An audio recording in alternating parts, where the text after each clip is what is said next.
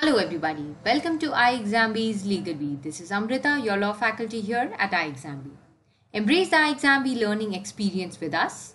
And if you have any queries relating to any exam preparation, especially the legal officer exam preparations in regulatory bodies, government bodies, banks, and whatnot, for all the exams, we have coaching online courses available at iexamb.com. You can check out the details of the courses. You can activate the demo and check out the courses. आप हमारे YouTube channel that is Legal Bee उसको जल्दी से subscribe कर लीजिए so that you stay in touch with us and you also get all the updates relating to various examinations, content, strategic preparation videos and whatnot. If you have any queries, you can reach out to us by writing us an email on hello and you can also call us on 920-5524028. आज के इस video में हम लोग discuss करने वाले हैं the last week preparation strategy for national insurance AO legal officer examination the exam is on your heads now and this is the most crucial time that you have for your studies so I want to I just want to alert you over year कि ये time अब आपको बहुत selectively use करना होगा। अभी तक आपने जो पढ़ाई की, कर ली। But now this is the most crucial time use it selectively so that you get what you want ये दिन डिसाइड करेंगे कि एक्चुअली आप एग्ज़ाम में कैसा परफॉर्म करेंगे। Obviously you have to study a lot from earlier months and you might have studied as well I am not saying that but अगर आपने उसमें बहुत पढ़ाई की लेकिन अभी आपने सही तरीके से उसका रिविजन नहीं किया या फिर आपने ऐसी चीज़ें उठाई पढ़ने के लिए जो आपको आ, आ नहीं रही है या फिर वो कम्प्लीटली न्यू है and you are wasting time on something which is not required then that is very wrong and इस वजह से कई बार स्टूडेंट्स उस अप टू द मार्क नहीं पहुँचने की वजह से क्वालिफाई नहीं करते so we need to understand many things in this video all together I will be giving you some tips and also will be discussing some time division I will be giving you how much you have to do and in which manner you have to do. Accordingly, you can make your own preparation strategy depending upon your strengths, weaknesses and your grasping power. Everything is different from a person to person. But ये guidelines लेकर definitely आप अपने लिए एक best strategy बना सकते हैं which will help you qualify the examination. Let us first have a look at the exam pattern which is very important for us to understand we are having six sections in this exam and also please note that there is a duration for each Test. यानी कि इसमें timing बहुत ज़्यादा important है। Objective test है ये and timing बहुत ज़्यादा इंपॉर्टेंट है, ये हमें याद रखना होगा। The number of question are forty forty forty and for the specialist area यानी कि आपकी लीगल के लिए फिफ्टी क्वेश्चन रहेंगे।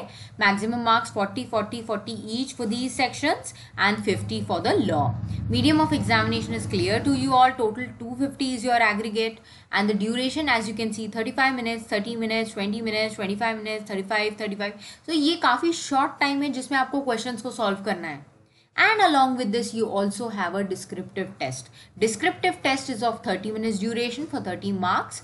And in that, you have essay precis and comprehension ये सब आपको 30 मिनट में लिखना होगा। They actually want you want to see that whether you have that minimum skills of writing और नॉट इसलिए डिस्क्रिप्टिव टेस्ट लिया जा रहा है। लेकिन जो आपका डिस्क्रिप्टिव टेस्ट है, वो सिर्फ़ क्वालिफाइंग इन नेचर है। रिमेंबर दैट एंड ये सारे जो मार्क्स हैं आपके these are going to actually determine your selection in the final so all these things are very important for you to understand at this particular moment कि आपको कौन से एरियाज़ क्वालिफाई करने के लिए और स्कोर करने के लिए इंपॉर्टेंट है।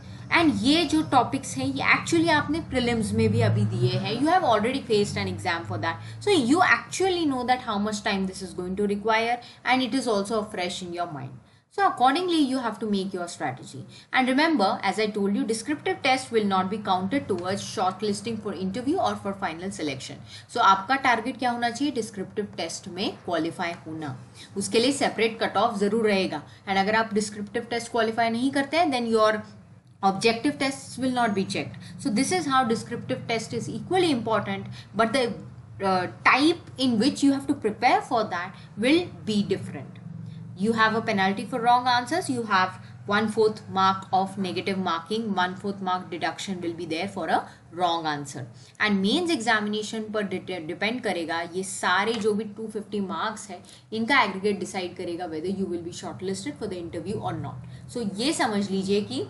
डिस्क्रिप्टिव टेस्ट में क्वालिफाई होने के बाद आपके ऑब्जेक्टिव टेस्ट चेक होंगे।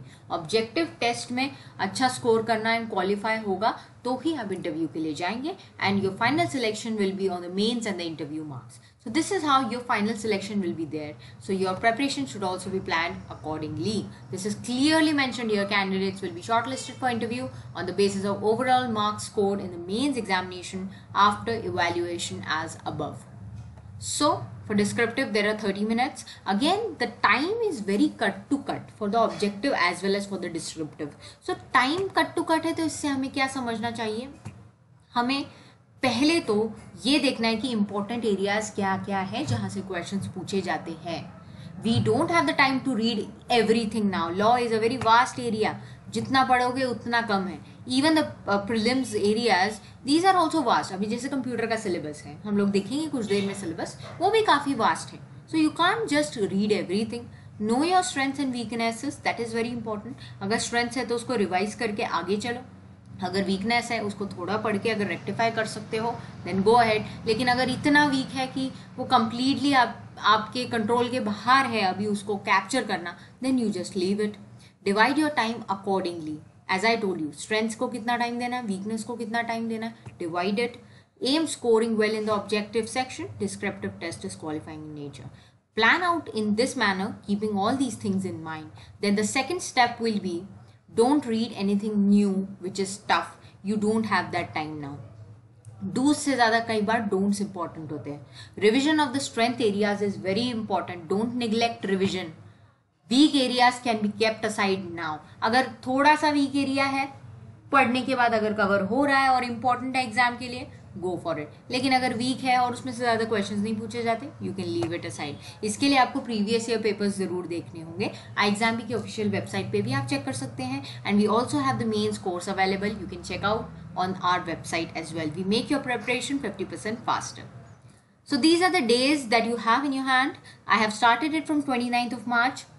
29 to 31st you can take up the law topics.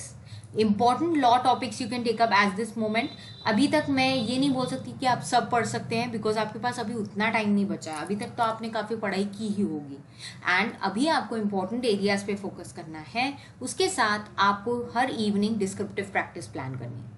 You can also plan it the other way around. You can do your descriptive practice in the morning also as per your convenience. 1st to 3rd April, you can take up the important prelims topics along with same descriptive practice. Descriptive practice को आपको करते रहना है ये सिर्फ़ practice के form में ही करना है fourth to six April again a very crucial time which you have to give only for revision revision revision along with mock test solving mock test solving बहुत इंपॉर्टेंट है क्योंकि आपका टाइम डिवाइडेशन काफ़ी कट टू कट है। Thirty minutes thirty five minutes twenty minutes तो अगर आपकी पढ़ाई हो रखी है, लेकिन आप उसको पेपर में प्रोड्यूस नहीं कर पाते हो तो आप इस एग्ज़ाम में स्कोर भी नहीं कर सकते और क्वालिफाई भी नहीं कर सकते। So you have to give equal importance to mock test solving right now remember you have to produce whatever content you have in your mind. Don't just drain content in your mind, you just have to produce it as well.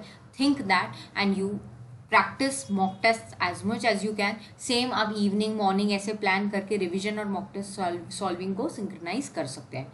And like this you can divide your time this is your syllabus English reasoning as you can see on the screen इस video को आप pause करके भी देख सकते हैं या फिर आप उसको डाउनलोड करके भी चेक कर सकते हैं।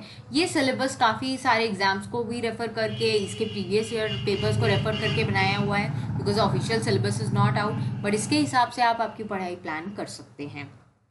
जनरल अवेयरनेस इन कॉन्ट जनरल अवेयरनेस आपको रिसेंट मंथ्स का पढ़ना होगा. एंड आई एग्ज़ाम भी is giving you a daily B P D as well उसको भी आप वेबसाइट पे जाके अगर एक्सेस करके चेक कर सकते हैं तो आपका साथ ही साथ जीए भी प्रिपेयर होते रहेगा. कॉन्ट्स में कुछ इंपॉर्टेंट एरियाज़ कर लो, अगर कॉन्ट्स वीक है तो. अगर कॉन्ट्स स्ट्रॉन्ग है तो definitely that can help you score a lot of marks तो उसको आप प्रैक्टिस कर करके रिवाइज कर सकते हैं. प्रिलिम्स को ज़्यादातर आपने प्रैक्टिस के पॉइंट ऑफ़ व्यू से करना होगा इस मोमेंट पे. कंप्यूटर थियोरेटिकल है. you can uh, do it important areas and if you can capture it fast then try to read as much as you can इसमें आप score अच्छा कर सकते हैं coming to the law part I would suggest that you go through the important areas depending upon the questions that were asked in previous year papers constitution companies insurance related specific laws ये तो आपके लिए काफ़ी ज़्यादा important है। Motor vehicle act and जो criminal laws है, उसके न्यू एक्ट्स का भी एक रेफरेंस आपको लेना ज़रूरी है। C P C limitation act ये सारे काफ़ी ज़्यादा इंपॉर्टेंट एरियाज़ हैं आपके लिए। कंपनीज़ एक्ट कॉन्स्टिट्यूशन तो but obvious it is very important TP so ये सारे लॉज जो भी मैंने बताए हैं, इसके अलावा भी आप अपना एनालिसिस करके, अभी तक आपने किया ही होगा इंपॉर्टेंट एरियाज़ को चॉक आउट सो आप अपनी पढ़ाई को प्लान कीजिए एंड जल्दी जल्दी अपना रिविजन स्टार्ट कीजिए so this is what I would tell you at this last crucial moment in this last one week and I wish you all a very best of luck for your examination.